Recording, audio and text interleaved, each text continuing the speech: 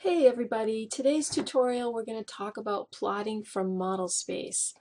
Okay, so what I have here is um, I have our drawing in model space and the border is also in model space and the border is 8.5 by 11 which is the same size that the paper is that's in my printer.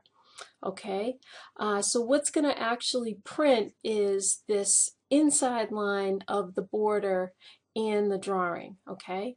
Uh, the outer edges, like I said, represent the edges of the paper. All right, so let's go to the print command. All right, the, there's a printer up here on the quick access toolbar. Uh, if you click that, it should open up the print or plot dialog box. Get that one more time.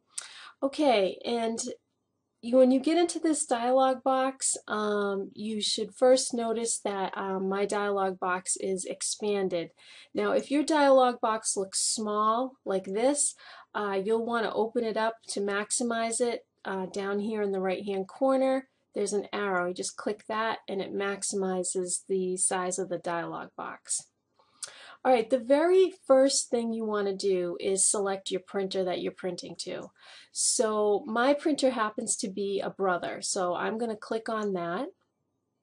Okay, and the next thing that you're going to want to do is look at all the paper sizes uh, that your printer can take. So um, I'm going to come down to letter 8.5 by 11 because that's the size paper that I want to print on. All right, and now the next question is what to plot. Now I'm actually going to um, make a window around what I want to print. So I'm going to click on window. Uh, sometimes you do have to pick that one twice to get it to go. Um, I got lucky today and only had to pick it once. Um, but what I'm going to do is I pick the upper left corner and the lower right corner of the um, drawing, the area that I want to print. Okay. And um, I have checkboxed here center the plot. And when I come over here, now this is where you can either um, force the whole drawing to fit onto the paper or you can pick a scale. Now um, this should work if at a scale of 1 to 1. So I have picked the 1 to 1 scale. Okay, there's a pull down there. All right, um, and now up here in the upper right corner, um, you can pick what colors that you want all of the line work to print. So if you want the line work to print black, uh, you want to pull this down and pick monochrome. Okay? Um, and if you want your uh, lines to print in color, uh, you could come up to the top and try the ACAD pen file. Okay? And that will make the lines print in color if you have a color printer. All right, but I'm going to go to monochrome because that's the most common thing that uh, people want to have their prints done is black and white. All right, down the bottom uh, is the drawing orientation, which is landscape. Okay, and I think that's about it for those settings. So let's do a preview over here in the left-hand corner and take a look at what our drawing looks like. Okay.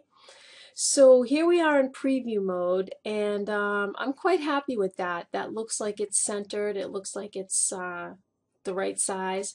So right here I, I'm going to click enter on my keyboard and that brings me out of preview mode and back to this dialog box. So now I'm just going to pick OK and what will happen is it should send it right off to the printer. Okay, so right now you can probably hear my printer is printing. Okay, and once that comes out, okay, here's the print. All right, I hope you can see that. All right, and what happens is uh, that has printed one-to-one. -one. So if I were to take my um, scale and put my scale on the paper, you'd see that two inches actually measures two inches. Okay, I hope you can see that. All right, so that concludes how to print from model space. Uh, stay tuned because I'm going to do another tutorial on printing to a PDF file.